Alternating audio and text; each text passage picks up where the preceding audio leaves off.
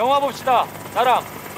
지난 2월 24일 첫 방송을 시작으로 매회 자체 최고 시청률을 기록하고 빨리! 있는 태양의 시간 후예. 없어요. 첫해 14%로 출발해 이번 주 두 배 이상의 30%를 넘기며 고공행진하고 있는데요. 대단하네요. 10%를 넘었어요.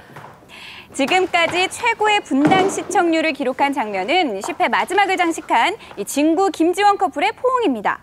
바이러스에 감염된 윤명주와 가슴 아파하는 서대용 상사. 수도권 기준 미쳤어? 시청률 39%까지 찍으며. 최고의 1분을 39%요? 기록했습니다.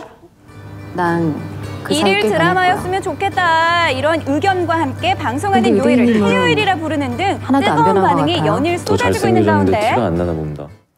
아내가 태양의 후예를 볼 때 말을 걸면 재앙을 초래한다는 남편들을 위한 행동 요령까지 커지며 인기를 증명하고 있습니다. 이러한 시청자들 의 반응을 뒷받침하는 객관적인 수치들이 공개됐는데요.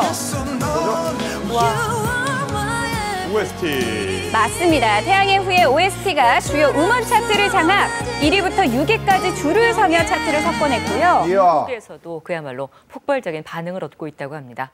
국내뿐 아니라 해외에서도 신드롬 현상이 이어져 중국엔 편당 2억 6천여만 원의 인터넷 방영권이 판매되기도 했습니다.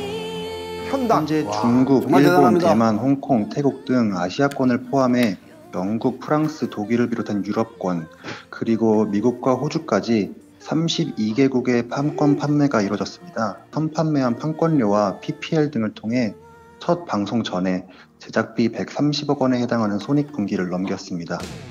다소 주춤했던 한류에도 청신호가 켜지고 있는데요.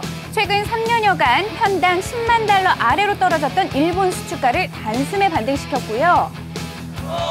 드라마 속 촬영지인 우루쿠 태백 부대는 재건을 거쳐 관광지로 개발될 가능성까지 높였다니 제2의 한류 열풍을 기대해봐도 되겠죠.